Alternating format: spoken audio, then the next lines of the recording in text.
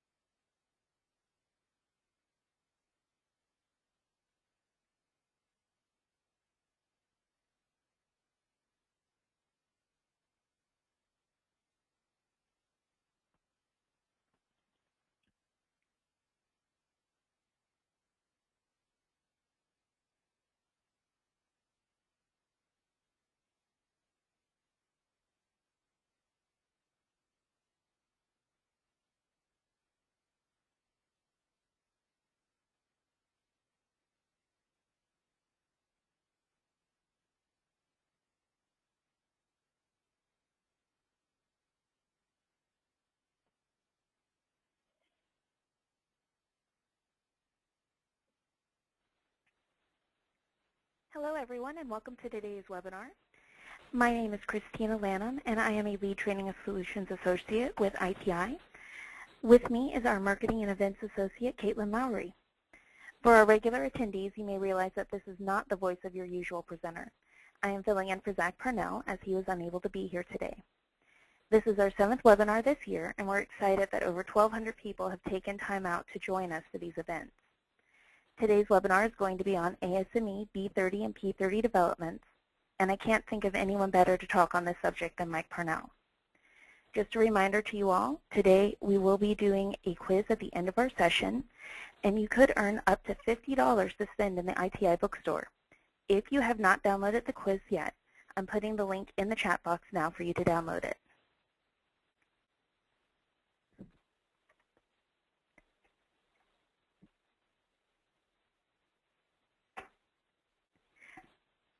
For our new attendees, I did want to take a moment and introduce you to ITI and what we're all about. For over 25 years, we've been conducting crane and rigging training for companies around the world. We are passionate about helping people build stronger skill sets in this field so they can create a safer work environment and go to home to their families each night. As reflected in our webinar today, companies from a variety of industries are involved in crane and rigging activities.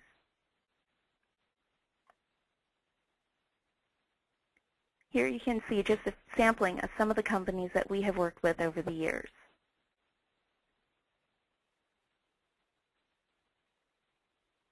Mike will be providing a lot of great information to you today, and if you miss something or cannot stay the whole time, remember you can download the presentation and watch this and previous webinars on our website at iti.com backslash showcase.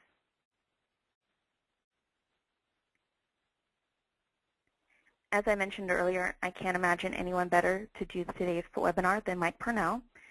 He has been involved in ASME for a number of years and has a great amount of information that he can partake to everyone. So again, just a reminder, the link is in the chat box for you to download the quiz if you have not already. And I am going to pass the baton over to Mike and have him get started. Okay, well, welcome everybody. We're very glad that you're here. And uh, I'm going to make sure we get our screen up and uh, everybody see our uh, screen there. Uh, just uh, hi and welcome, and we're really glad uh, that you're able to spend a little time with us on this Friday. that we have the privilege of having 18 different countries that have been registered for this, corporations from those countries and 39 states and three provinces in Canada. So um, the we're over 227 uh, folks uh, have registered for this, uh, and and a lot of them have joined up to this point. So we're looking forward to a uh, rousing uh, walkthrough through for the ASME B30 and some of the B P30 items. So let's move forward, and as you know, that you're able to contact Christina with some questions that you have. I uh, would like to uh, start right off with, we have two questions that started in earlier uh, that were during the registrations. And I'm going to pull up one. Um, there was a question, uh, and this was by Dean Paget out of Missouri by, uh, for pre-stress casting. And Dean's asking a question about tie-off or, um, or using during um, re-roping uh, projects for putting uh, new rope on machine. Uh, these are, uh, I just pulled these up this morning before we got started, but this, this particular series here, that's actually me working. Somebody caught me working one time. Uh, this August, I was up in Ketchikan, Alaska. You can see it's pretty wet up there, but tie-off is required. Obviously, we're always looking for uh, 5,000 pounds uh, or more per, for a dead anchor for our lanyard to connect to or a hard sling to a lanyard uh, to a dead end connection.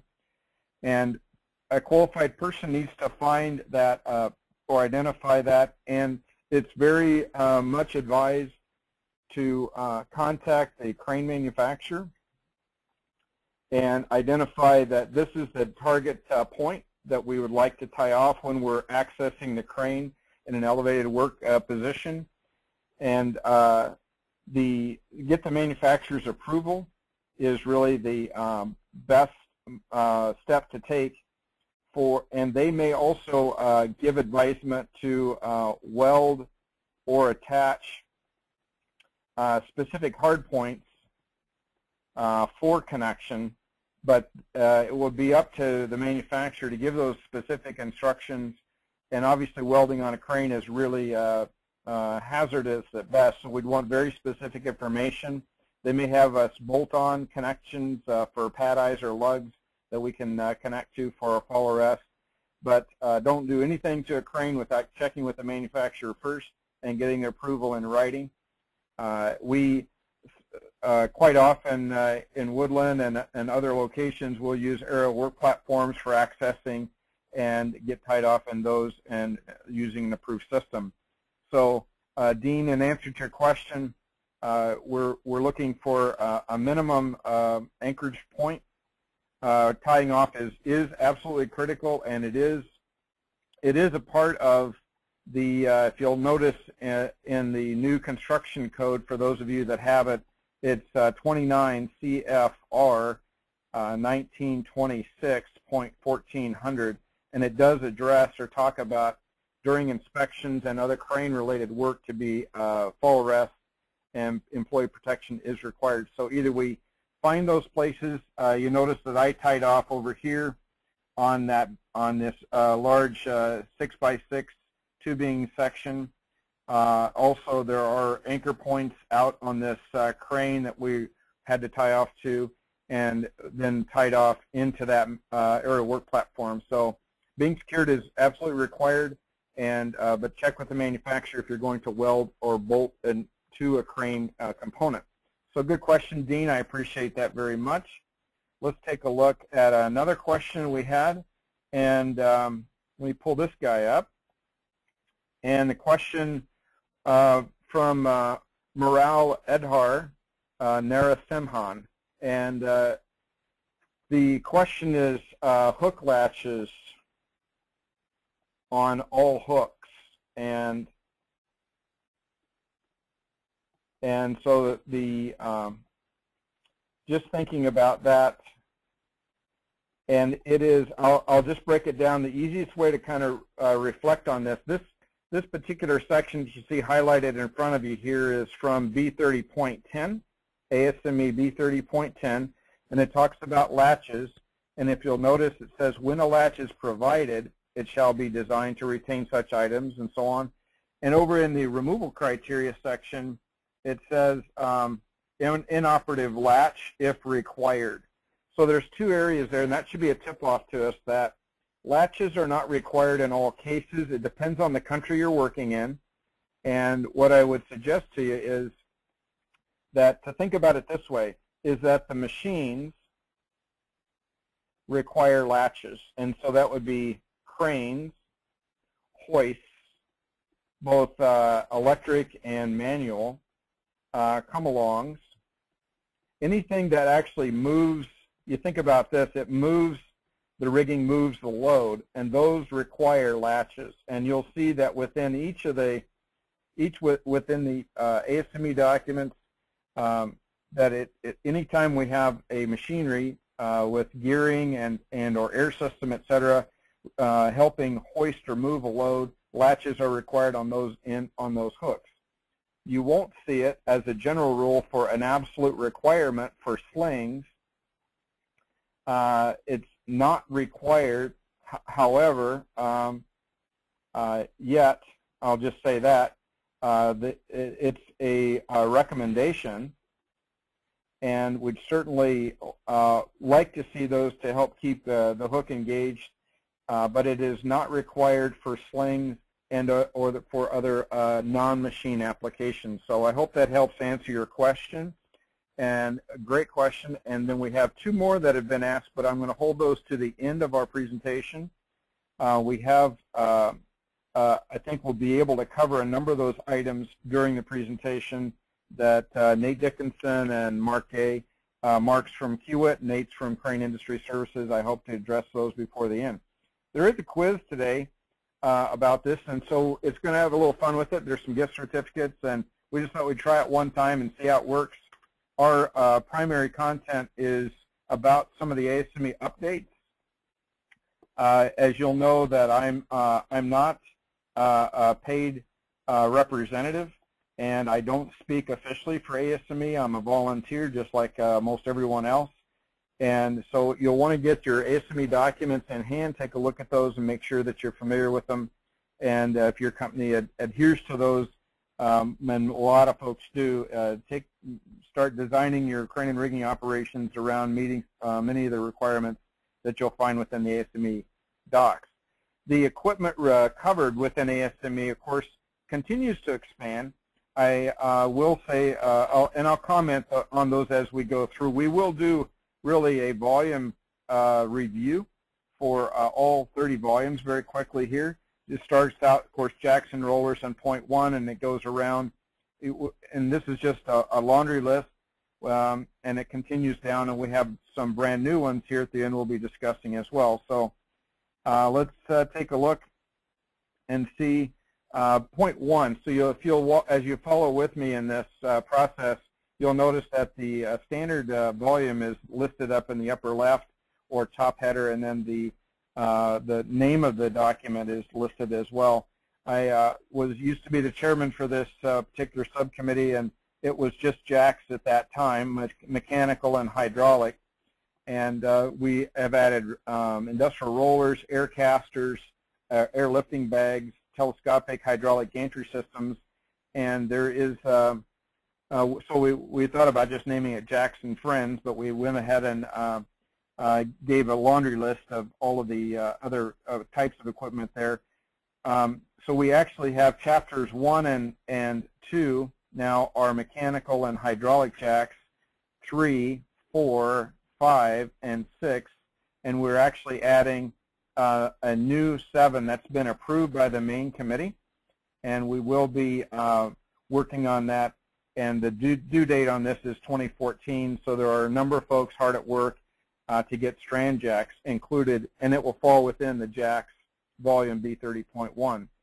So uh, it, it, it was published in 04 and then republished in 09, and I would suggest if you have any of that type of equipment, and a lot of folks that use uh, perform machine removing, uh, jacking, industrial rollers, synthetic rollers, uh, Hilman and multi-ton type rollers, all of those. Uh, if you have that equipment in-house in, in, in, hand, certainly something to get your hands on and start taking a look. It's got an excellent uh, rigging and operating practices section in it besides all the inspections and all, but it talks about blocking, uh, out of levelness, all the things that have to do with supporting and uh, supplementing the activities related to it. So I would strongly uh, suggest that you get involved with, uh, get that volume purchased and get it in-house.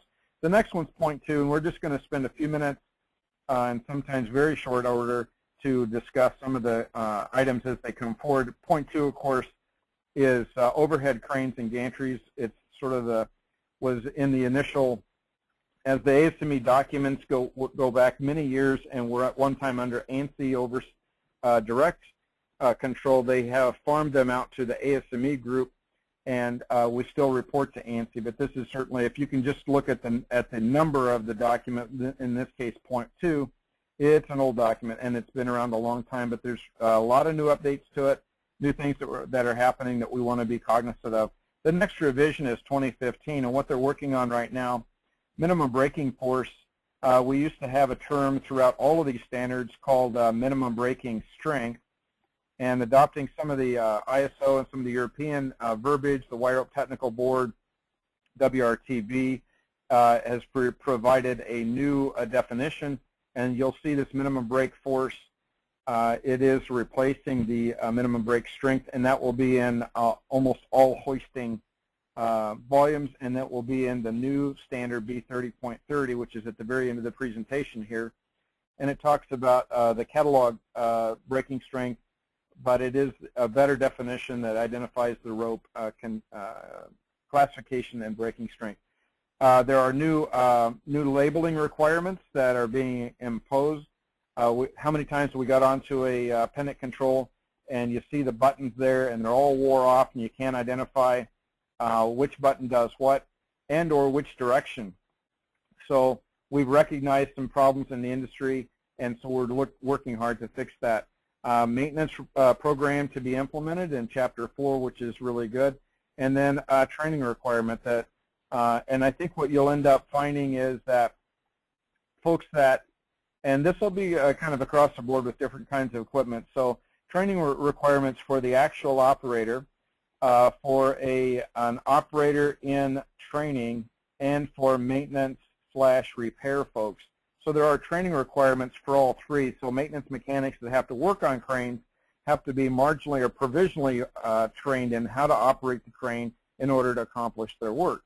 So uh, operating uh, training requirements will cover a whole group of folks as we go forward. Management responsibilities, and I believe that they'll also be entertaining or involving the lift director, site supervisor. All those elements will also be rolled into point two. Um, this is a, uh, by the way, we put in a uh, uh, uh an offering that we would uh, also provide to you some uh, requests for interpretation that have been provided recently to the main committee. I sit there, I'm the vice chair for the main committee, and so I offered to bring out some of the requests that different folks in our industry have sent to B30 and to have entertained. So here's one question, and these are all well, they're posted typically in the back of a volume, but I, I we've uh, ferreted them out and brought them to you. It says on for an overhead crane, do the load test requirements uh, in section uh, 22222 uh, address the load test of the underlying support structure? So if you might think about uh, a crane that runs, of course, on a bridge, and uh, the trolley system is there, and the um, hoist hook and block and so on. So the idea is that the um, do the does the load test sort of the question is do the load test does it also uh, provide uh, some verification or load test uh, certification for the underlying support structure which would be the columns and uh, runways. So that's really the core of the question and I'll give you the answer here is no. It only provides uh, a test for the actual crane itself, and it does not uh, suppl supply uh, any verification of the runway system because it's only about the machine. You know, think about that. It's we're only able to. You can buy a machine like this, bring it in on a truck, and put it up on any kind of support structure. And so the test really is only it's only about the crane, uh, and and it's not about what it's sitting on. So you should have, we should always make sure that we have um, the uh, runway support system uh, well engineered uh, and the columns should be uh, uh, engineered as well as the foundation that the columns are resting on. So that's an all different um, area of, uh, of attention that needs to be paid by a separate entity and that can be contracted by the site or location. But ASME can't reach past the machine in what it's trying to help the users understand and perform. So it so the supporting structure is not included as a verification pro, uh, element in the load test. Excellent question. Here's another one for uh, overhead cranes. Can the load test be conducted using test weights equal to 100% of the crane of the rated capacity? And the answer, of course, that to that one, the, the uh, 40 plus members of the main committee said yes. Uh, if you had a um, test weights that were verifiable and you had a 10-ton crane, you wanted to put 20,000 pounds of weights underneath it to perform 100% uh, lift, uh, test lift, that would be fine. Uh, that would be in place of actually a dynamometer or crane scale because if they're certified weights, they perform the same service and they've already been certified. Here's another question. Uh, request for interpretation. If the load uh, test weights are 100% of the rated capacity, can the load rating be certified, and that's kind of a troubling question to ASME, be certified at 100% of the test weights rated capacity?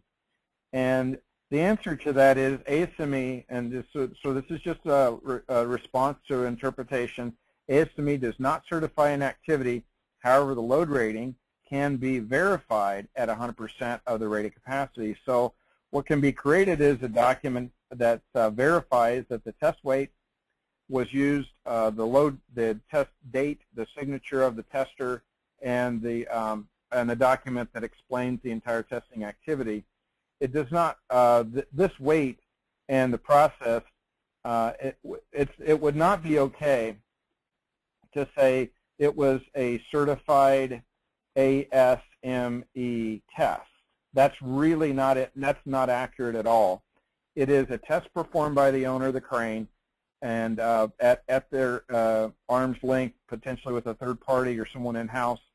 But it's simply been that the uh, crane's been verified. That's the key key word right there, been verified, and um, and to to meet the code re uh, requirements.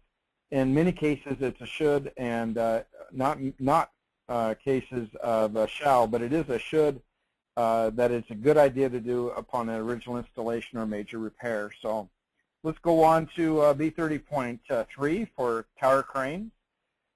And this really is, what, saying it without saying it, is uh, it's really about construction tower cranes. It's not about shipyards and other permanent installations that's handled in a different volume. So this is really about the construction type tower crane that's erected on site.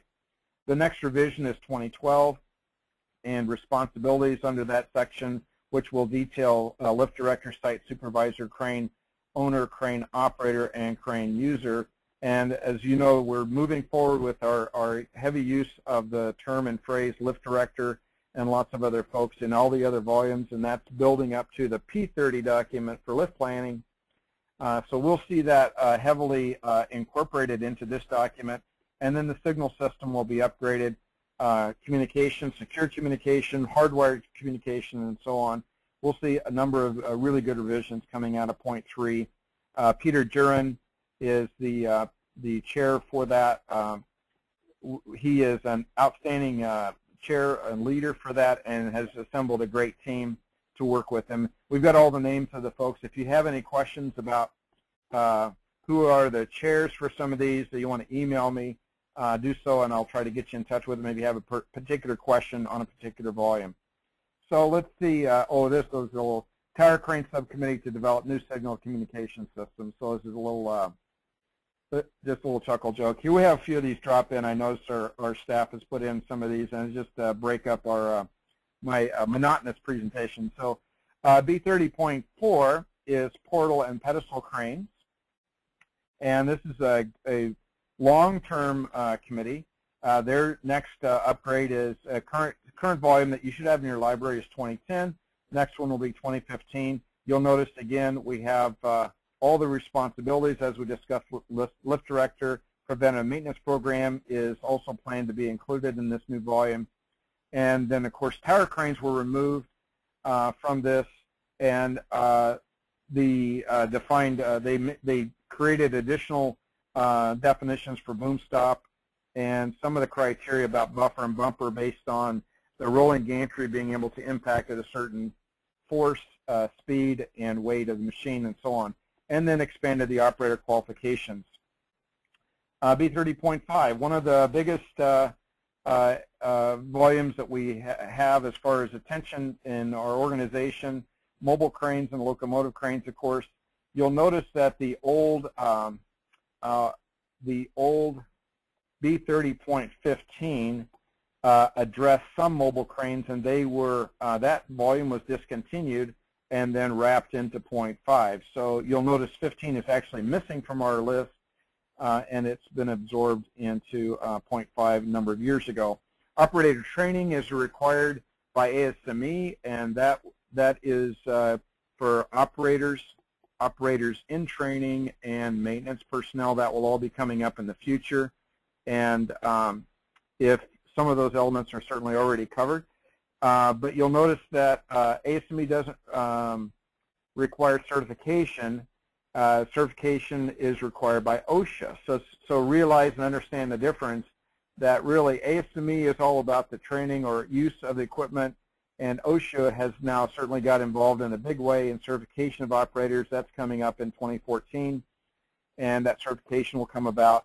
And, and lots and lots of folks already have been certified since uh, starting in 1995 in a voluntary process. And of course, in uh, 2010 we had a new 1926.1400 construction crane document that said from today forward to 2014, you need to be either qualified, training qualified, or certified, but November of 2014 is a drop dead date for having certification.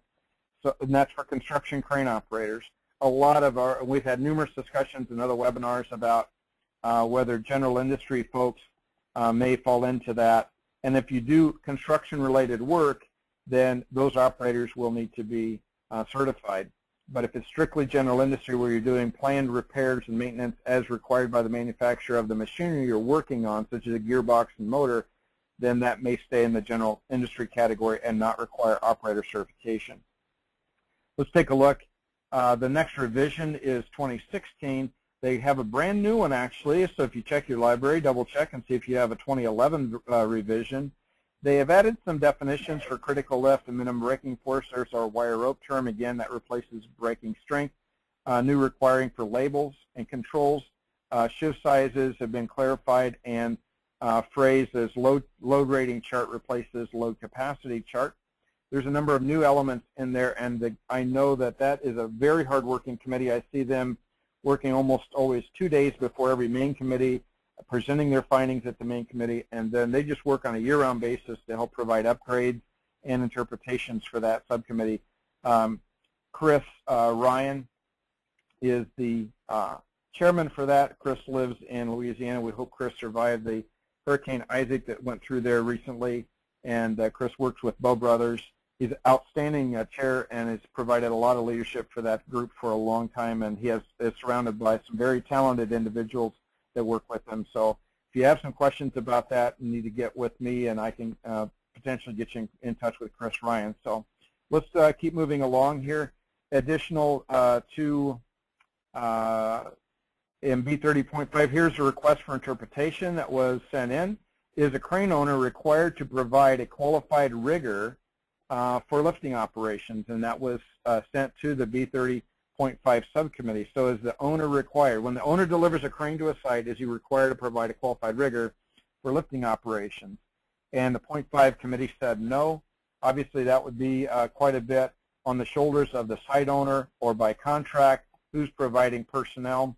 And it could be a crane, the crane owner may be providing a, potentially a crane operator with that machine, but the riggers, the signal persons, uh, laborers, all those other things may come under uh, different headings and different corporations, subcontractors, et cetera, but it would not be the obligation of the owner to provide the rigger. So that's a great, great answer there by that subcommittee. Uh, another one is uh, request for interpretation. Is the uh, crane owner allowed to accept the load weight uh, information provided to him by the site? So when you go into the B30.5 um, volume, you'll notice that out of those five uh, folks that are listed there, the uh, lift director, site supervisor, operator, owner, and user, the uh, lift director and site supervisor, in effect, are to provide, uh, by one way or the other, provide the uh, operator with the load weight. And once that's done, the question is, is the operator allowed to simply accept that weight provided to them by the site? And so that's really the question. Uh, and the answer is yes, because that's part of the process. And those are the assignments of those two individuals, lift director and site supervisor, but lift director to provide that weight to the operator. And so it is, it is once it's been provided, you have a responsible party that's giving you some information on which you're about to make the lift. And that is the decision tree and the workflow plan that we are trying to help encourage in the U.S. and get things uh, moving. So Here's another question. Uh, and by the way, all of the questions, when an interpretation comes out, uh, it, what happens is it's sent to the uh, B30 uh, secretary, and uh, the uh, secretary ends up sending it to the, it, it's sent to the B30 chair of that volume, in this case, Chris Ryan at B30.5, and uh, the subcommittee provides the response. They in turn send it to the main committee for approval because it's under the main committee's uh, signature that all responses are released. So the main committee then will send it back to the uh, sub, the B30 secretary for publication. So it uh, the the response by the subcommittee right here is the recommendation to the main committee. The main committee actually has to review it. There's over 40 folks that do that, and they in turn uh, get it published and sent out. So, so when I say the subcommittee is responding, it's typically they're providing an initial response, and the main committee has to provide an agreement to that. And in some cases, there may be a little wording, or it may it may be a, not a satisfactory response, and the main committee will push it back to the subcommittee. So, so let's take a look at this question is the crane operator uh, not responsible for improper rigging that is out of his view? You'll notice this is a complete, you know, it's really a negative question, meaning negative, the word not is here, improper, and out of his view. So it's rather a tricky question. You kind of have to deal with it in that phrase. So is the, is the operator not responsible uh, for improper rigging? And another way to say that would be, is the, is the crane operator um, responsible for proper rigging out of his view. I mean, there's a there's a lot of ways to kind of dice this up. So I want you to see that by the tone and, and uh, method in which the question was submitted, that we on the main committee had to answer that. So the answer is uh, yes, the crane operator is not responsible for hazards or conditions not under his direct control.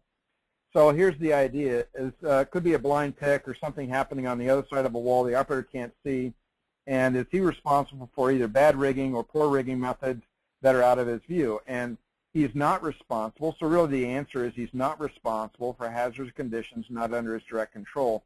If you'll remember years ago, the operator was sort of responsible anytime he picked a load up for anything from gate to gate, fence to fence, all over the property.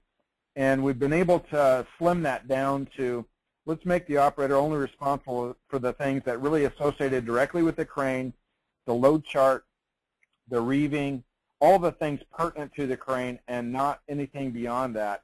And there are other people and personnel that we've now started to identify more specifically and more pointedly uh, to help handle the things that are past the crane hook that he really can't be uh, have it could be a tower crane where he's sitting 300 feet above and uh, through the fog he can't see anything. So you, you know you have to take a look at what can he actually manage or control. Well, he can control whether uh, the amount of weight that he's going to pick up. He's got to verify that and then confirm his crane capacity and crane setup and all those other things.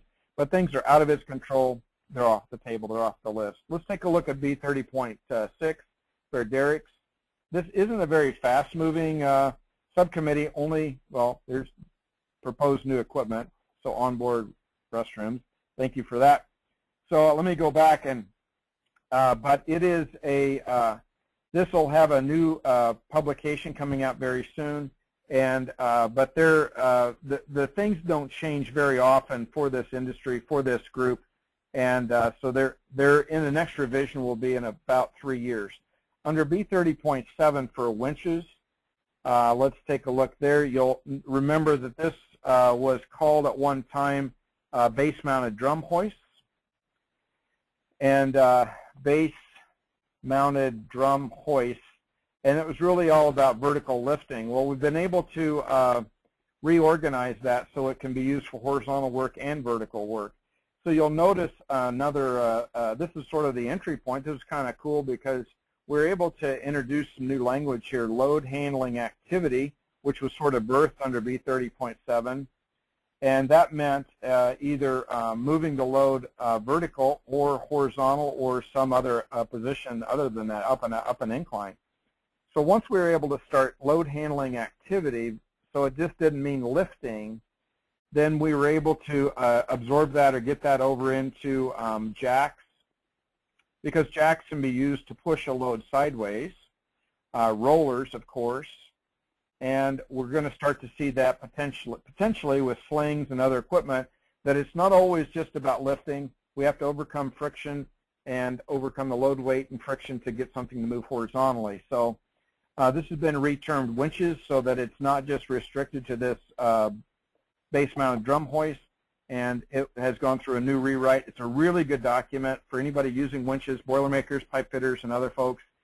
it's got a brand new volume, uh, 2011. Get your hands on it. It's a really good, uh, nice upright uh, up, upgrade, and we'll start to see some of those responsibilities be floated into some of the next revisions. So let's take a look then. Um, oh, efforts being made to change the winch volume to a more friendly user standard. Um, it's being greatly resisted. So we have a comedy group that's been able to filter some pictures in here with us. B30.8 is floating cranes and derricks. This has gone through a number of uh, new generational steps. Look for new definitions for uh, liquid-free surface and load lines. This is really good. Uh, we've had a number of barge failures with cranes on them and or loads placed on them. So we're getting much stronger language that requires uh, structural competence by a qualified person, and typically that's going to get down to a very specific call out when you really look at the definition who really, a marine surveyor, marine, uh, marine architect, uh, qualified engineer for those types of structures, that qualified person definition is going to carry a lot of weight when we're really trying to decide the use of a crane and barge operation and combination. Uh, new watertight integrity requirements, and they've added offshore barge requirements as well. This is a fairly new document, 2010. The next revision is 2015. So take a look at that if you have uh, your operations involve floating cranes or floating derricks uh, great, great volume to take a look at. Oh, it's a new method for drawing clothes of employees who have fallen overboard, so thank you for that drop in. All right, let's take a look at slings. I'm the chairman for slings, and sometimes it's, uh, it's in all of life. You don't know whether you're chasing or leading, but we're moving forward with a lot of changes uh, coming up. And in the last revision in 2010, uh, we have some new definitions, uh, rated loads based on symmetrical loading if it's non-symmetrical load, then a qualified person needs to get more involved in determining tensions per leg. Uh, we have we just made a clarification. I'll tell you, we got a there was an interesting article here written by uh, an individual in our industry, and uh, talking about how many uh, hitches do we need to have on uh, a sling tag, and you know, the, sort of the universe just keeps going and going and going. And really all the B, uh, clear back to 1994 that we could track 1996 for ASME to current date and, all, and OSHA to current date, uh, all, all we've been able to identify and all we wanted to identify is a single uh, hitch type and angle upon which it's based. If you want to add more, that's fine. But training and, and information the tags are only so big. They're only going to provide so much information. And uh, if you think about chain slings, chain slings typically have one rating. It may be on a single leg. It could be on a two leg uh, with the master link up here, but two legs at 60 degrees. But they don't have uh, then. It, so if you take that uh, that sling and choke with it, then you have to have another rating. And there's just only so much room on the tag to put in so much information. So that's why training is such an important part and knowledge by that person because we know that typically for chain slings, we've got to reduce that capacity uh, by 20% when we choker hitch.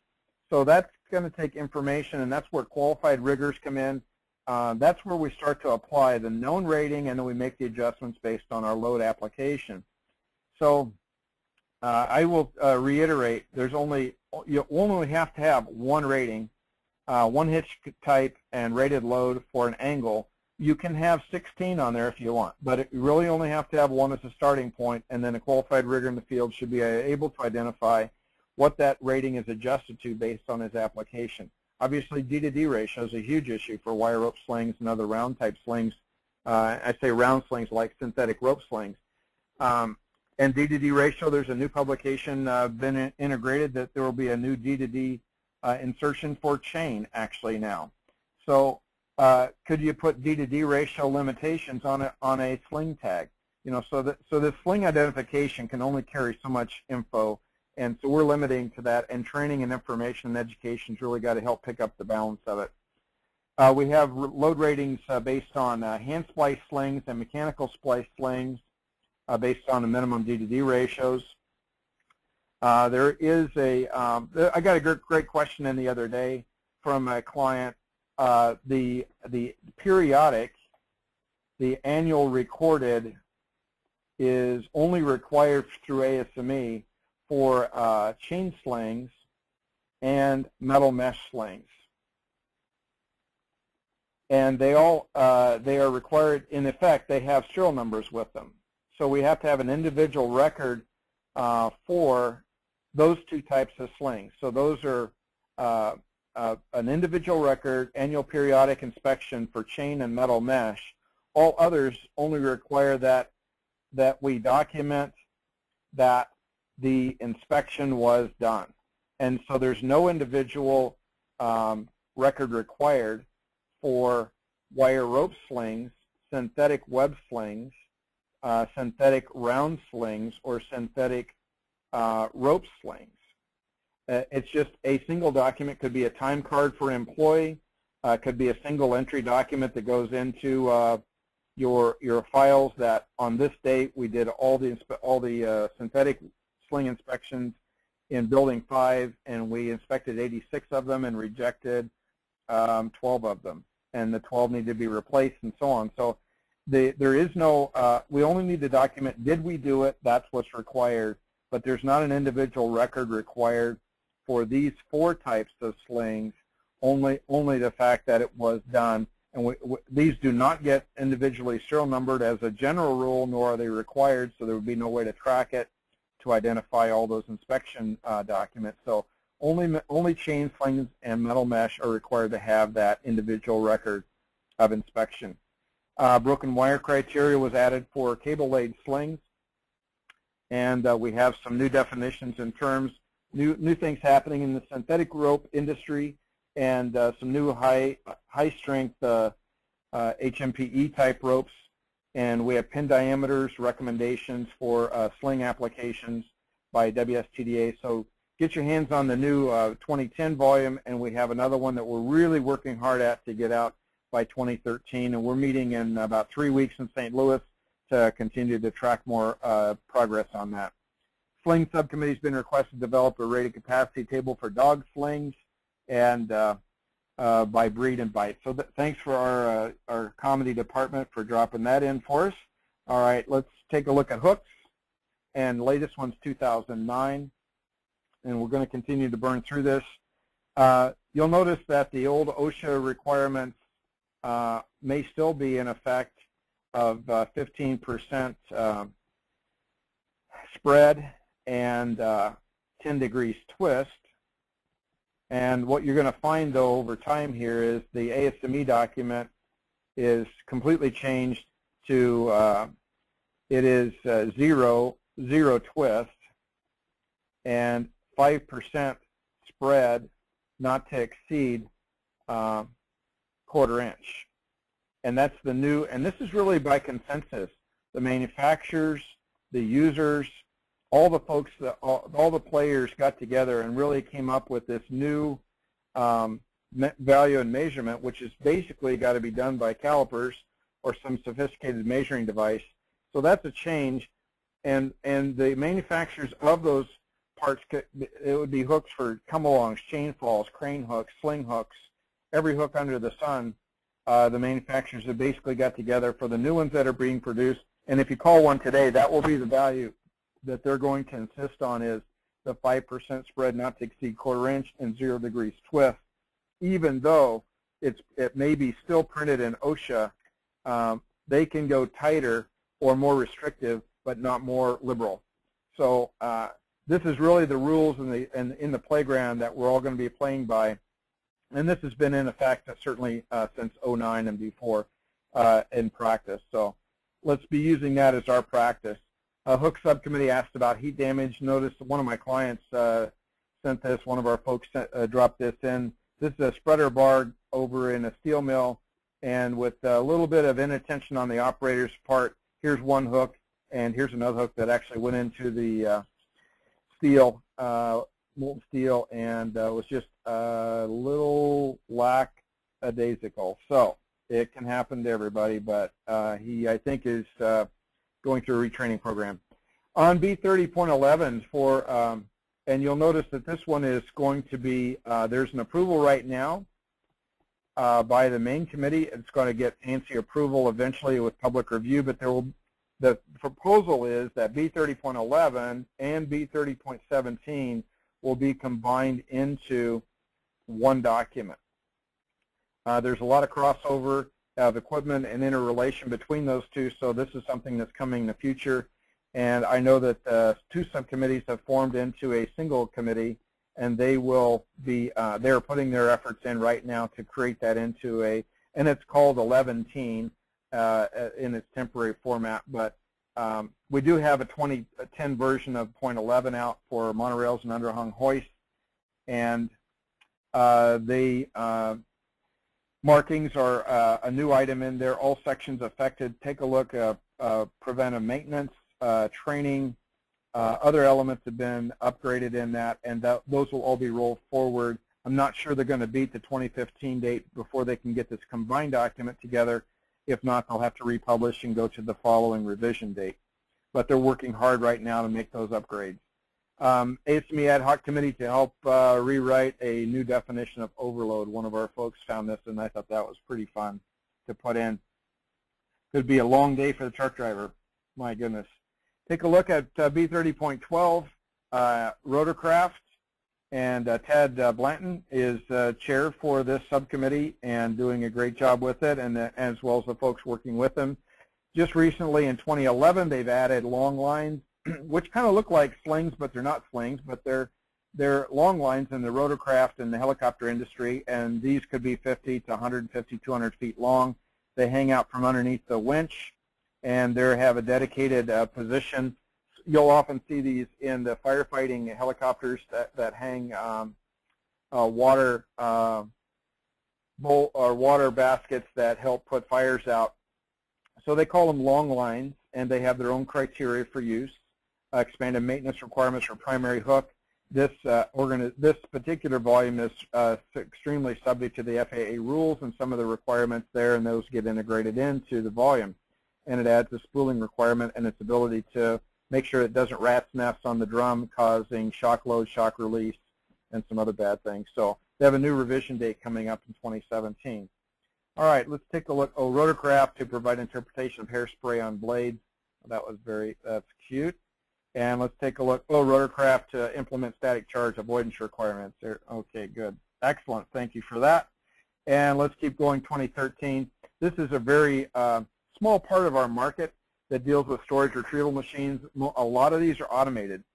Uh, they work off computer systems, and uh, and they're uh, you won't see them in very many workplaces. I know Boeing and some other folks have them, and they are to uh, retrieve parts, components that are in storage locations, bring them to a central point, and the employees then use those parts.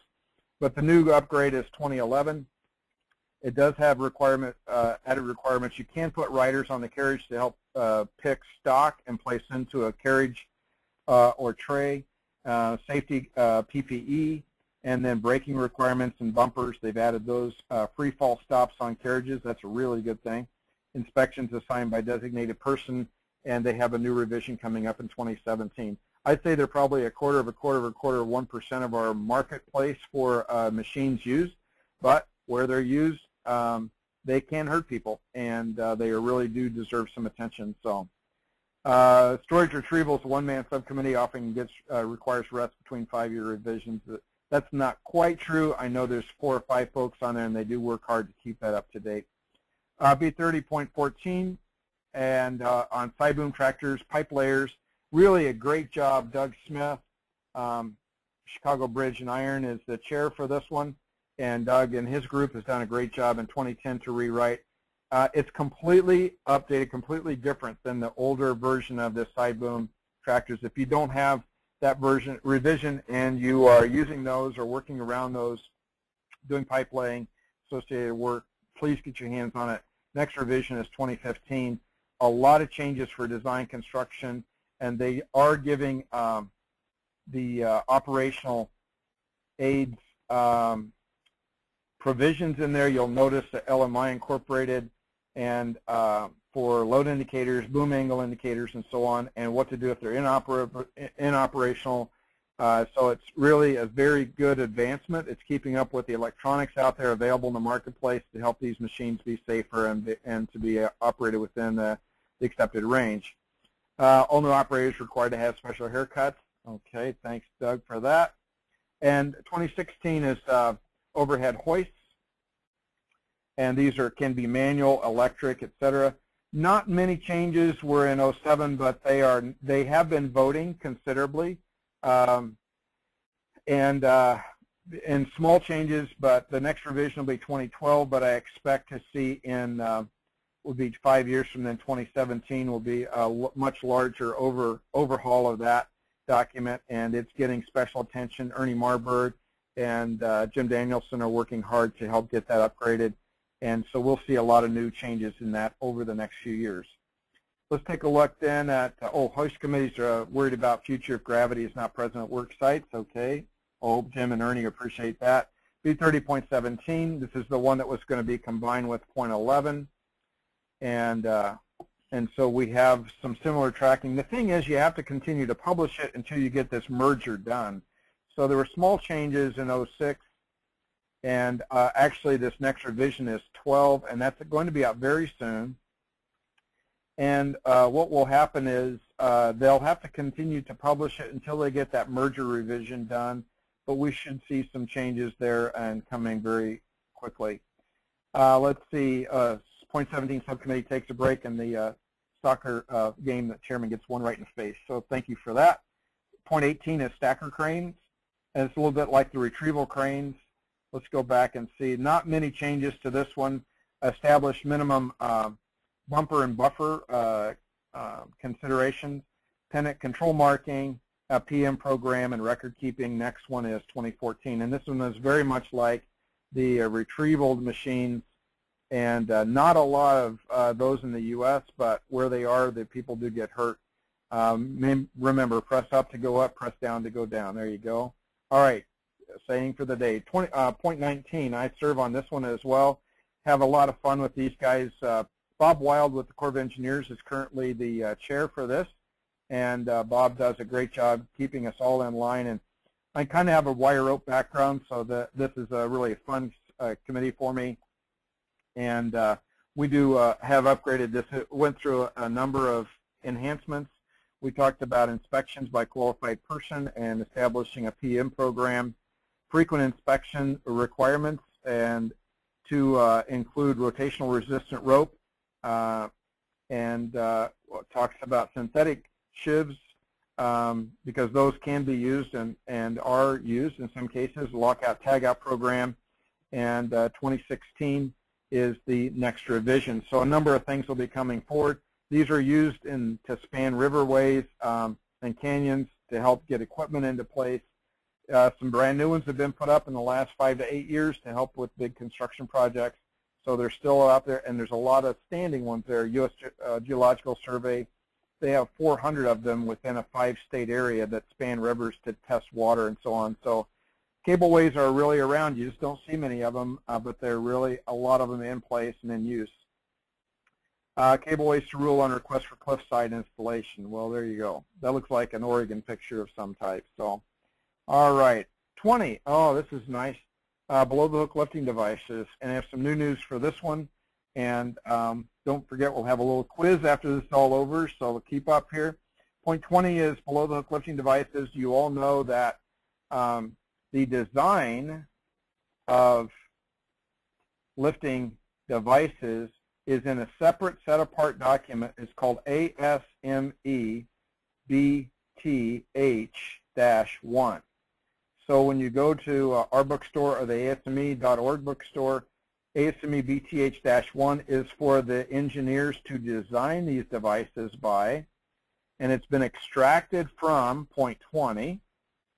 So that design information was taken out of point 20, and this document now really is really targeted for the users, for us that operate it, inspect it, handle it, and all that. So that this document is really user-oriented, and BTH-1 is the design document. So if you're looking for that design criteria, go to the BTH-1 design document. And those are very hardworking guys. Boy, they, they've put in a lot of time. Uh, Dave Duerr, I think, out of Houston is the new chair, maybe for BTH-1, and Phil Boyd is the chair from Boeing for the uh, B, uh, B30.20, and they do a marvelous work with all the folks that work with them. The uh, below the hook lifting device B30.20 language has changed concerning alterations, modifications, refers to rigging attachments and components. So if a spreader bar is in place and you have sort of permanently connected uh, chain leg drops and all, what do you inspect them to? So think about that for a minute. Um, I think we have a question on this. If I take a look here. No, we don't. But let's think about that for a second. That uh, if I've got chain slings hanging on a, a, doc, a, a bar like this, I would be inspecting the B30.20 using that document to inspect the, the lifting beam and B30.9 to inspect the chain couplers, chain legs, and the hooks from because we have prescriptive information about those devices that hang off of there. So we are, uh, the construction and inspection requirements, we are pushed to take a look at those applicable volumes when we have additional items that basically I'm going to call them permanently attached, not when they're just hanging in a hook and you can remove them by hand, but those that are actually dedicated to it and uh, to be used specifically for that device. Let's take a look and keep going here. 21 is manually operated lever hoist. Come alongs, these are uh, roller chain and uh, chain type, and there is a web type as well. And so there are a number of different types that are used. And uh, 2010 is being uh, was reaffirmed uh, Jim Danielson is the um, the new chair for that, and Jim is helping out get the get the organ, organizing the subcommittee to come up with a very strong 2015 upgrade and revision, and it will be uh, addressing preventive maintenance, training, minimum breaking force, et cetera, and other global requirements, which include inspection items. So that committee is really in a in a drive forward mode, and they're really working hard to get that upgraded. So Jim's doing a great job. New definition for come along. Everybody see that? There you go. Don't see that every day. All right, so let's take a look here, and we have, um, we go back one page. And on B30.22, articulating booms, these are obviously taking uh, our marketplace by storm, and a lot of these are showing up at job sites. Uh, Dan Wolf uh, did a marvelous job with his committee uh, with getting all of the uh, upgrades to 2010. That it's really a very well done document. If you have articulating boom cranes in your fleet or use them on your job site, I would definitely get my hands on this document. It de details really well um, load ratings, uh, load charts for more information for operating positions, rope classifications, uh, wireless controls are now add, have been added to that, operational aids like LMI, load moment indicators, and so on, qualified person, uh, maintenance programs, and so on. So next one will be uh, upgraded or uh, enhanced in 2015, and um, the actually the uh, Mark Jack's timer is the uh, new chair for that from the Navy Crane Center, and he's helping out in a great way with a lot of folks that are uh, hanging right with him to make this a new and improved document as it goes forward. So um, we see if you have some of those, please make sure that you get this document. Here's an, our request for interpretation on articulating, we call them knuckle booms.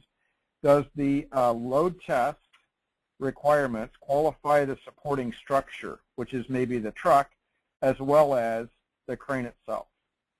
And so that was sent in, and what do you think the main committee, how do you think they responded to that request? So let's take a look. And the answer is no. Uh, the load test uh, does not qualify the truck. It could be anybody's truck. You put that knuckle boom on onto a truck, there are certain provisions that we should be really following, but the load test, what it's supposed to do is confirm the crane's operational performance and the truck's stability with a specified load. That's about as good as it gets, and that's about all we can do. But it's uh, but ASME uh, B30 can't reach into if it's a GM truck or a Ford or a Dodge or a um, an IH or whatever kind of truck it is, we can't reach into that part of the world. It's it's sort of like the supporting structure on an overhead crane, columns and runways. We don't really we can't really speak to what kind of machinery that that this boom is sitting on. So that's really up to the owner builder uh, manufacturer to make those determinations, and the load test is only really checking can the crane do what it's supposed to, operationally perform, and for goodness sakes, let's find out if the crane, if the truck tips over.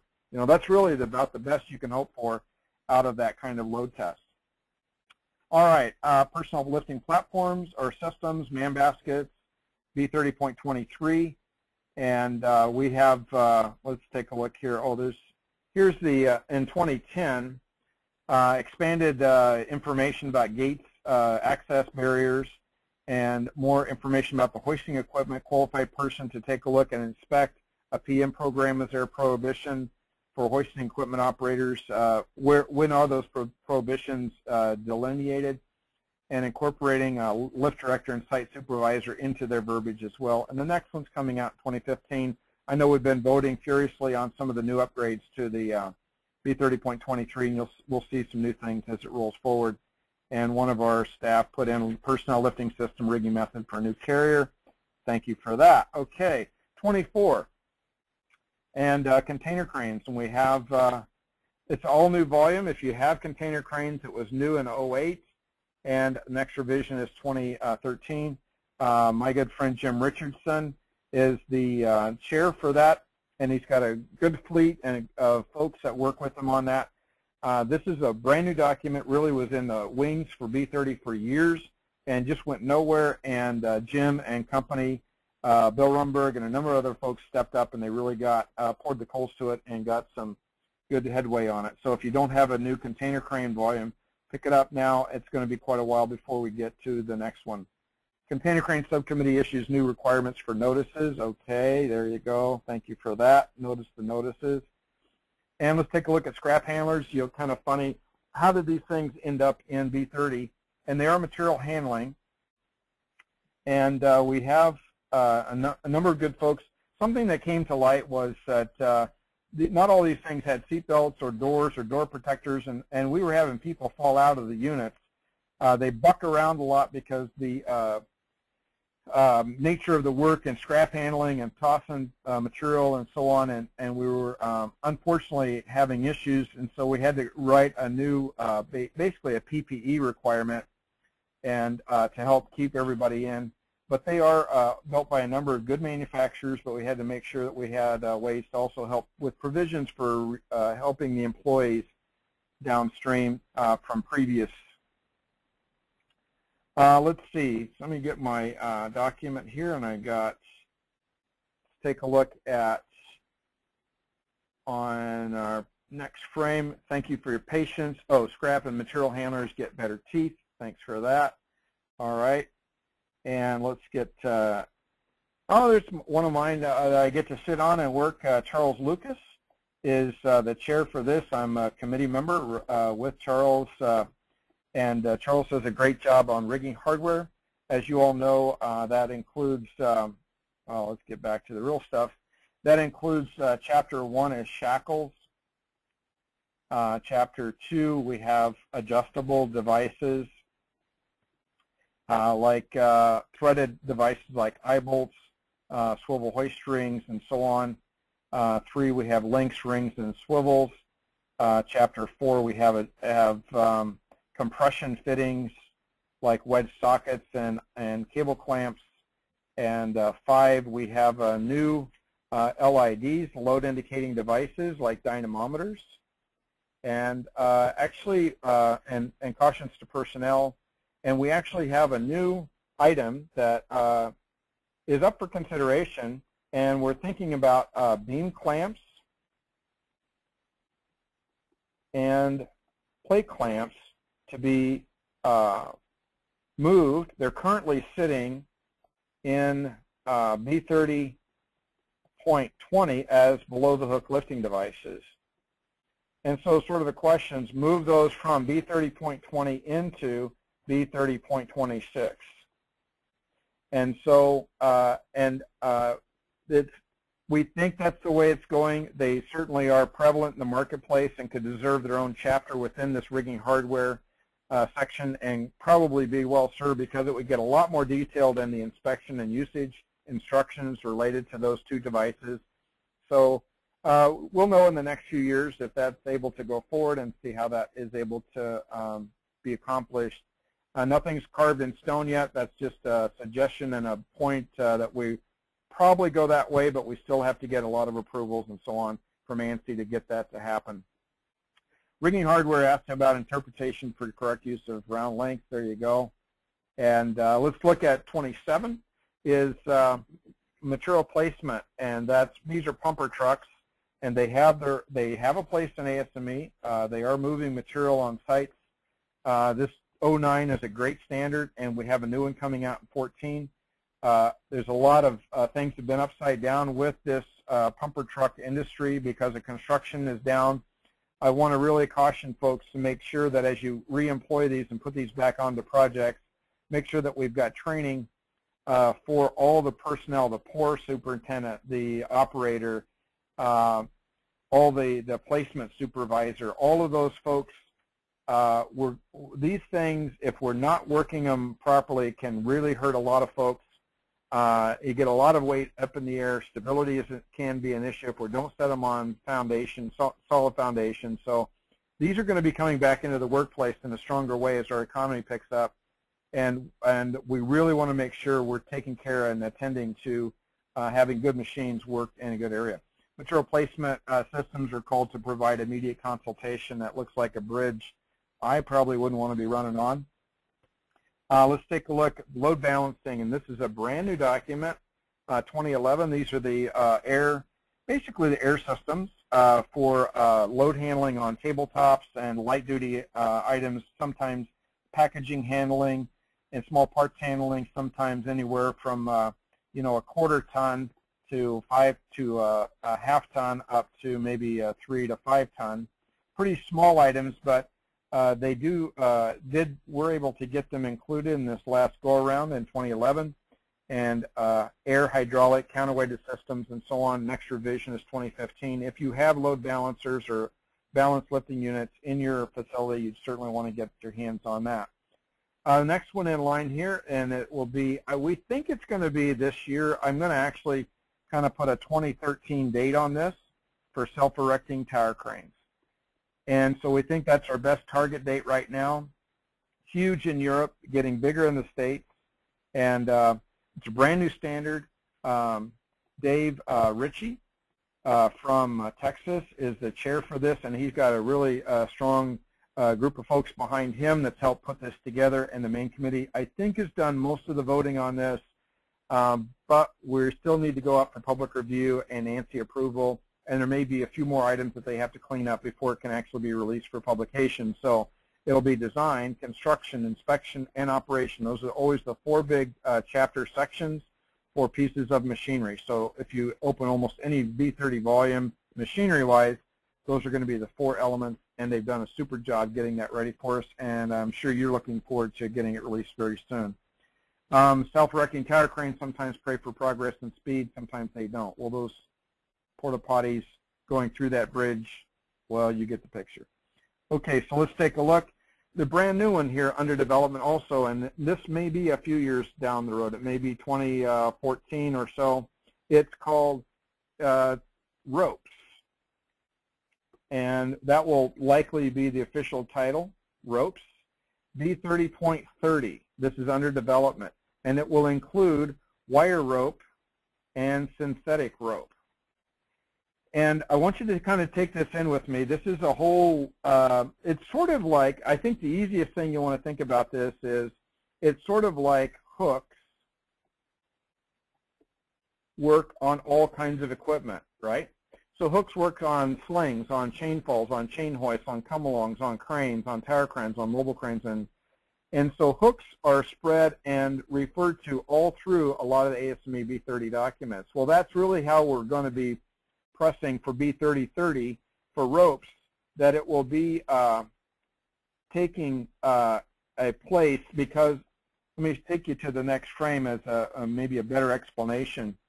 Right now what happens, if you can see this, if we make one change in wire rope on inspection or care maintenance uh, criteria, to get through about 15 or 18 volumes that all have rope in them, it may take up to nine years to get this one change that happens in 2012 to get down here to the last volume by the time we get revisions and updates.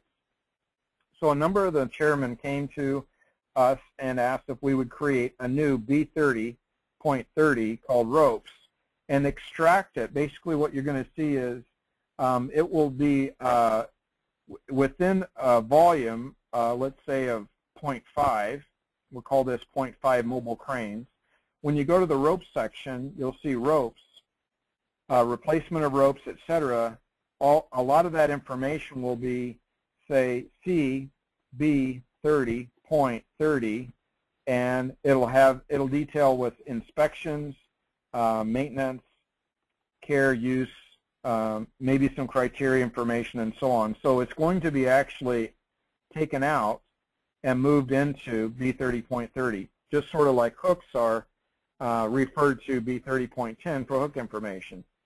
So it may uh, likely include we have some winches uh, and other equipment that use synthetic ropes. So you'll see synthetic rope as an optional type of hoisting medium uh, to be used. So synthetic ropes are used in winches and other applications.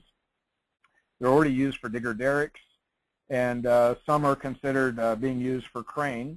And we'll see how that market takes into that. So this is a whole uh, new element that's going to take place, and we're starting to see some. There's probably uh, uh, 14 people on that. Uh, Dave Henninger with um, Bridon Wire Rope is the chair for that, and there's about uh, 12 or 14 of us that are serving on that subcommittee but that'll be a few years before we get all that done. When we do, it will be extracted from the other volumes. That's the game plan at the moment. So be looking for that as it gets developed. Um, I did promise you uh, P30, little update and review. And P30, as you know, I'm the chairman for that, and I have the honor of serving with about 20 uh, other folks on the main committee and another 10 folks that are contributing members. And I'll tell you what, we have a awesome team put together, and uh, Kate Hyam is our B30 or P30 secretary. She's she really is sort of the glue that holds it all together and does a super job. Uh, we are just really at the first uh, major balloting of these items. And so I can't release those documents to you because uh, through an ASME agreement, members of committees can't just simply send out work uh, product that's in progress um, because it all has to go through voting through main committee voting, through ANSI approval, public review, and so on. So we're really in, in the throes, but I will say to you, we're going to do a first ballot uh, in uh, this next month, well actually in this month, in September, and we will try to resolve those issues in October of 12, and then we go through recirculation November and, and potentially finish balloting out January, February, and I would really hope that we could have some things ready for ANSI review by February, March of 2013. I, we are really close. I'll tell you, we're really getting down to grammatical and editing small things, and it's really, um, we've made super uh, headway on it. You'll notice in, uh, I've done a, uh, a lift planning, lift considerations webinar here a few months ago, and many of the items that get into the classifications considerations, if you'd like to go back and visit that, you'll probably find a lot of similarities. So if you want to catch up on what Chapter 1 might look like, that would probably be a good place to do it, just a hint. And then critical lifts and what might be involved with critical lifts and on how to execute the critical lift. There are 10 items that should be considered uh, in the critical lift formulation process, and that will get down to um, the load, the rigging, the LHE. You remember that from our previous uh, webinars, LHE, load handling equipment. Uh, so it, there are 10, 10 basic steps we've identified so far. It'll be about the people, the execution, the uh, pre-lift meeting, the, uh, the lift itself, and then the post-lift meeting. And uh, there's it's and we'll, we are uh, currently considering samples of lift plans to put into the appendix. So it's uh, it's really going to have a, a marvelous impact. And I know we've got a couple of questions from folks that have written in about Lift Director and things like that, which I'll address in just a few minutes. Um, but let's see where we are here. Okay, quiz time. Hope everybody's uh, hanging in there with me. All right, now, Christina has forwarded to you a link or you've already downloaded a form that looks a little bit like this on the right of your screen.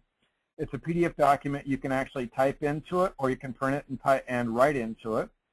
And I have four different um, pictures to put up in front of you. So you'll see one, two, three, four, and then there's a series of blanks that go with each one of those. And you'll notice off to the left is a full listing of all the B30 equipment. So please get your uh, PDF document ready to take this quiz. And uh, I'm going to start putting up a picture here in just a minute. Now please take a look. And what I want you to do is to write in the B30 equipment that you see in the picture on section one of that form. And your, your option listing obviously is over here. And whether it's existing, here's the thing, it's existing or uh, under development. All right? Christina, you are we still on and good here, huh? We're good to go. Okay, here we go. So we've got, um, look at the picture really close. Let me see if I can amplify the picture for you. This is in a building. And let me amplify this for you here a little bit and move this around. Take a look at the picture there. You'll see a variety of uh, components. And so how many, how many ASME volumes do you see represented by the load handling in this photo? So some of you probably see the hoisting equipment. And don't forget, existing documents or under development.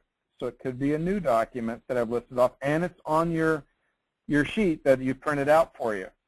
So let's see. I think, you know, actually there's, I'm going to give you a hint, there's more than, more than four, and but not as many as uh, nine. Let's do that. So, so let's see how close you get. I'm going to give you a few more, few more minutes to take a hard look, and I'm going to sweep this picture sideways. So let's see the um, what equipment, what B30 equipment, like do you see, um, uh, let's see, do you see a spreader bar in there? That would be B30.20. If yes, fine. If no, no. Um, what other kinds of equipment do you happen to see in there? And I'm not going to try to lead you on here. I'm just going to try to give you a tip here. So I'm going to give you a different view for just a minute. Take a look. And we're going to time this out in just a minute. So make your list. Be writing your list down. And Christina, let me know if we break communication. I'm getting some uh, indicators in my ear here, so if I go offline, I'll get the phone dialed back up. All right. Okay, so we're going to switch to the next photo. Everybody with me here? So let's go to question quiz number two. Get a reduced view of that for just a minute. All right, here's quiz number two right here. So take a look. What equipment, B30 equipment volumes do you see represented? Like do you see B30 point one? Do you see uh, like uh, a, a, a telescopic hydraulic gantry system? I don't see any there.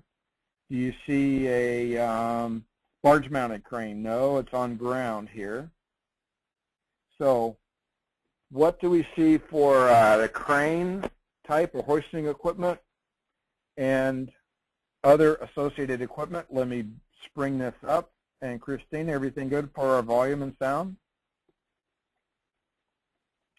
I'll ramp this. Okay. I'll ramp this up a little bit. I will tell you that this is a load indicating device. That's a little hard to see in the picture. So there's a little silver box right up there, and it's got some heart, some hardware above and below it. That's an LID, and so I'd kind of give you that one. Which volume does that come from? Do you remember? So make your listing. So you're going to need to list down which one's B30 point X, Y, Z, which ones do you see in this listing? So take a hard look. We're going to get ready to move forward here. So take a hard look. And so you know you got the load handling equipment. You know what that type is and what other items do you see. And uh, make your list quick and how you doing on that. So let's go to the next one. Everybody with me? All right. We're going to go to our next uh, quiz here. Let's take a look at the next. Okay.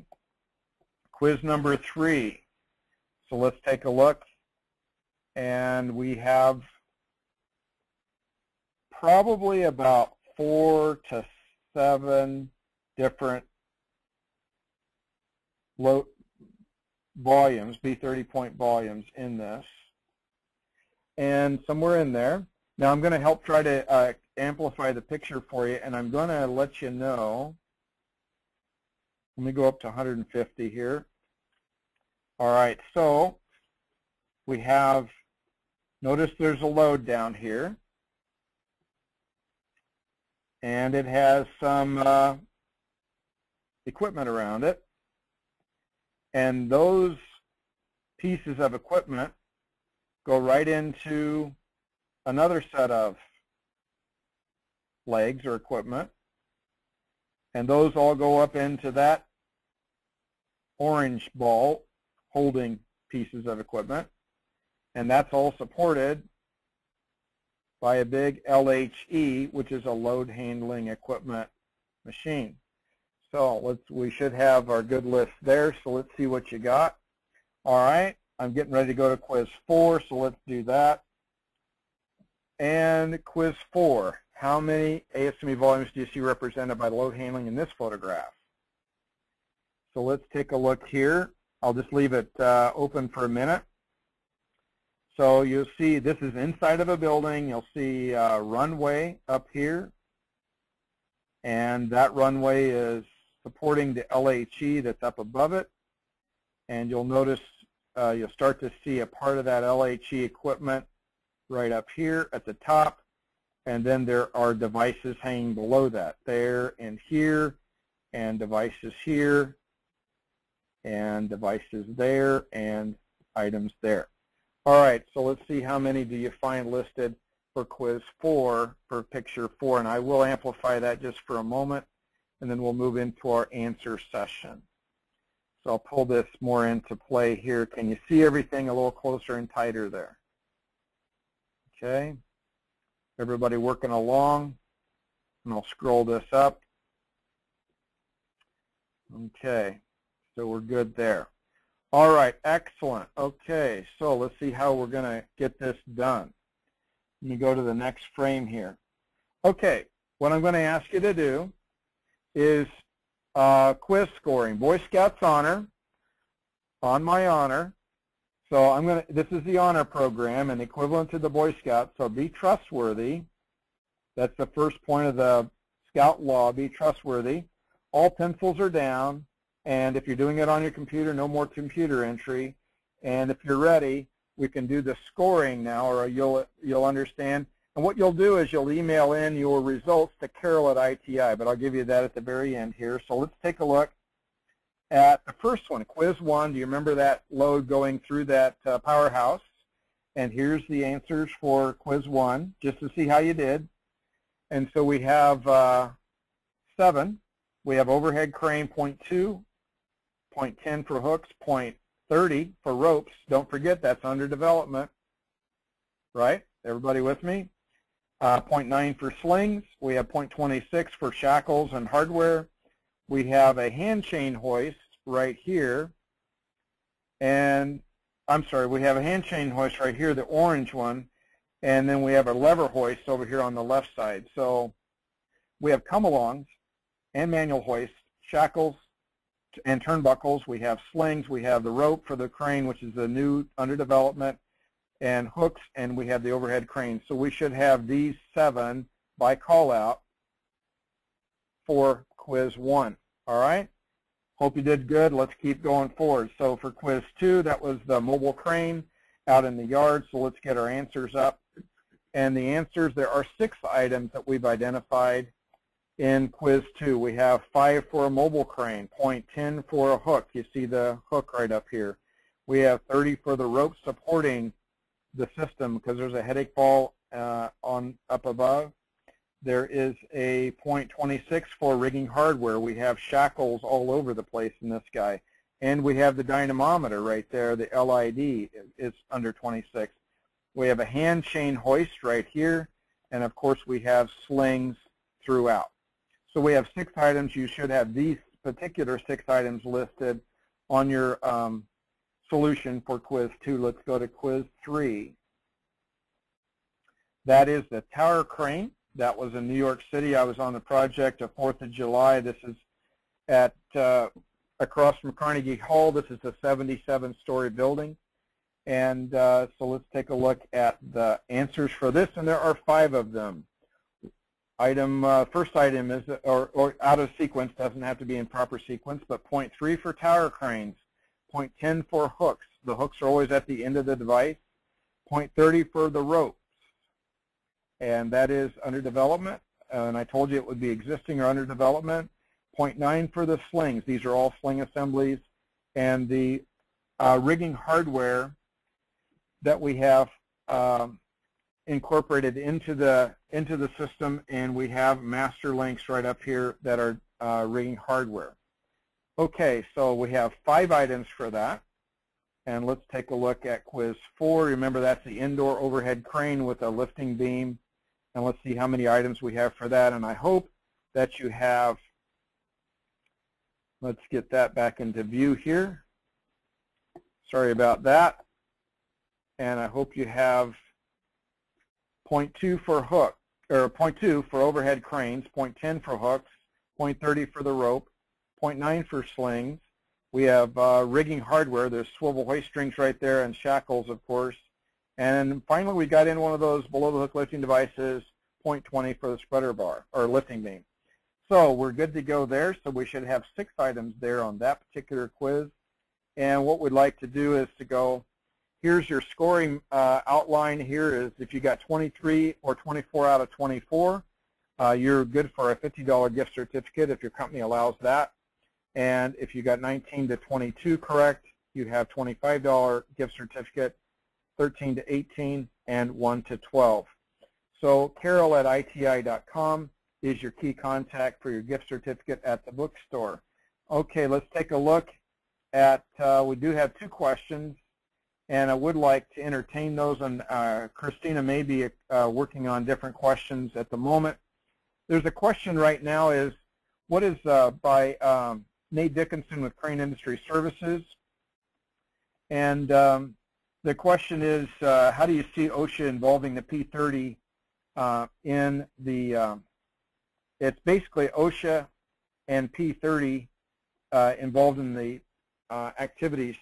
And I do see it because uh, in P30 leans heavily on the on the uh, operations of the lift director and a lot of decisions that person makes. You'll notice in this new OSHA requirement um, 1419 for a lift director where there is one on signal systems for hand signals, voice communications, additional requirements, You'll notice we've got lift director highlighted there. And the operator, signal person, and lift director, if there is one, must be able to effectively communicate in the language used. But also in the um, in the new construction uh, code 1926-1432 for multiple crane lifts.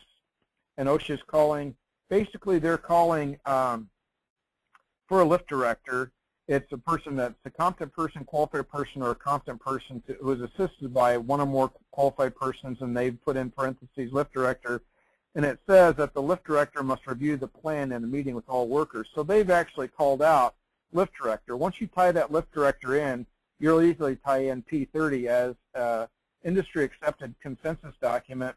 And I would tell you that it's going to be in a few years that um, the uh, OSHA is going to be uh, you know, continue to lean heavily on the ASME documents, which are the uh, such as the B30.5, which they already lean heavily on, and the P30 for lift planning. It's all going to be tied in so that when OSHA says, listen, there is an industry standard for lift planning, you've dropped this load, uh, P30 is an excellent document for lift planning. Why were you not using it? And so I got to tell you, next five to eight years, we're going to see a huge marriage, I think, at least as the OSHA folks get educated about the value of P30 and where it's going. I think you'll see it uh, more commonly referred to in a lot of the issues and accidents that are taking place in response to, to those items. Uh, let me uh, address this one particular. Aaron Gro uh, uh, Grossing uh, from Xcel Energy. Grossinger is the intent of the lift director to to be a basically I'm going to call it a standalone person, or can he wear multiple hats? And I'm paraphrasing your question, Aaron, and I'm sorry for that, but I want to kind of get that uh, idea here is that your question is, is the intent of a lift director to be an independent rigger or for oversight only? So can he do more than one thing? And notice that these are the five uh, selection areas or assignments and role areas that we currently commonly know about. And I'm going to take you over here just for a second to see the different uh, setups that uh, folks can, can uh, a lift director may be involved. He may be working for the uh, site supervisor, certainly in the, in the corporation which owns the crane, manages the crane operator and all of that, so he may be directly involved here. The lift director can uh, actually, he can uh, rig the load, he can signal the crane, he can serve as a signal person, uh, and um, he could be the crane user uh, all, all, all at the same time that, so he can wear multiple hats or he can delegate and designate riggers, signal persons, and others that work with him or for him. So the lift director is a person, he can, the answer is yes, he can, he can wear multiple hats. It does not have to be uh, a standalone oversight only type uh, position uh, for that individual. He can, he can do multiple things. I would really encourage you to not have the lift director not also be the crane operator. I think you really run into problems, and that's a Mike Parnell thing. It's not anything else, but I think you really run into problems when you don't have a person out on the ground watching what's happening with the load, the rigging, the, the site, the control, and the, all those other things and personnel, and be in the cab at the same time. So I just think at that point you probably got to break that in two and have at least an operator in the cab and somebody on the ground, and he can actually be serving in multiple roles. Okay, great. Hey, I hope everybody did uh, good on their uh, quiz, and I'd like to see those sent in to Carol at ITI. Uh, Christina, I need to ask you, are there any other questions that I can help answer? People have really done a great job. Oh, by the way, here's our little uh, outline. Uh, this should be your answer key for that quiz. So you can double check your work here. Item one, check those items out longhand. Item 1, 2, 9, 10, 16, 21, 26, and 30. Quiz 2 is 5, 9, 10, 16, 26, and 30.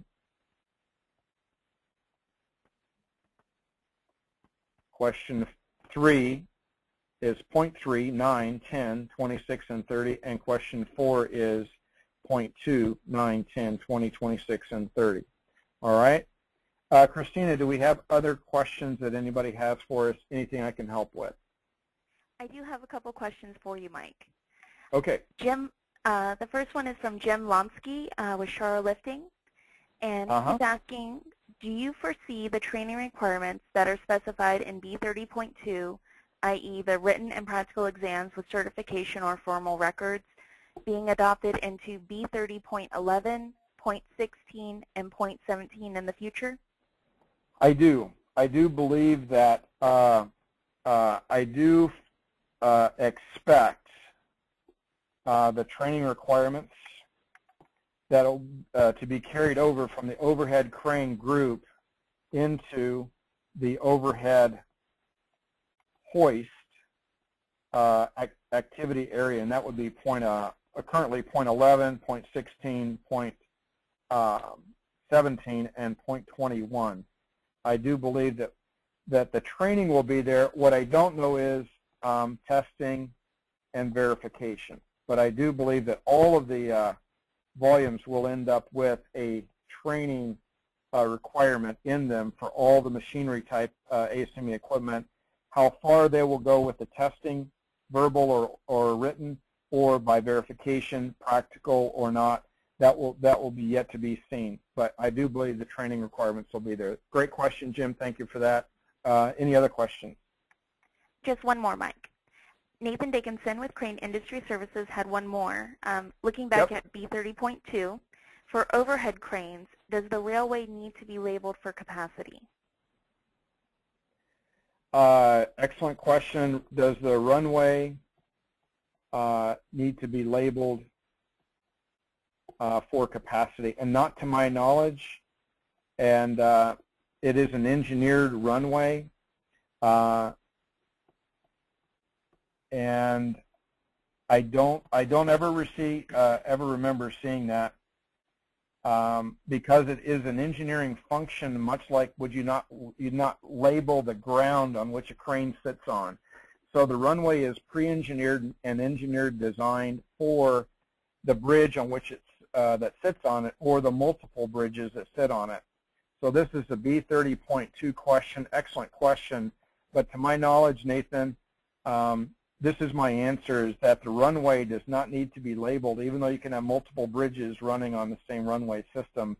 The engineering for the runway and the columns and ground foundation support um, is, uh, is simply that, and they have to engineer it for worst case, highest load uh, conditions.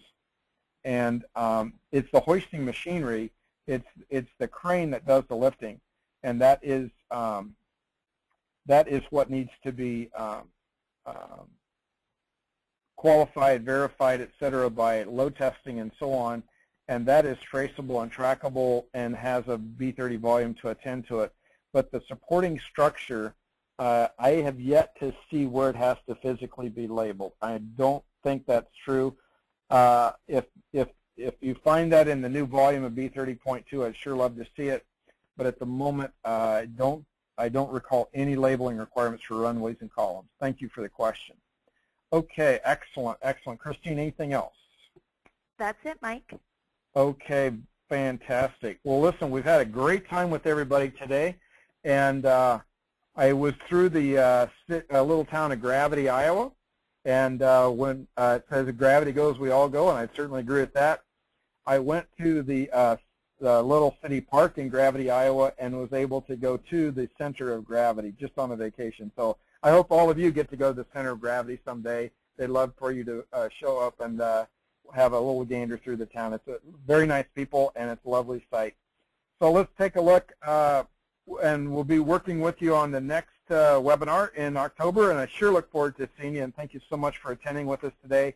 And uh, if you have any questions or anything I can help you with, immediately. Uh, it's Mike at iti.com. And Christina, thanks so much for your help today, and I look forward to uh, visiting with all our friends in the industry as time goes along here.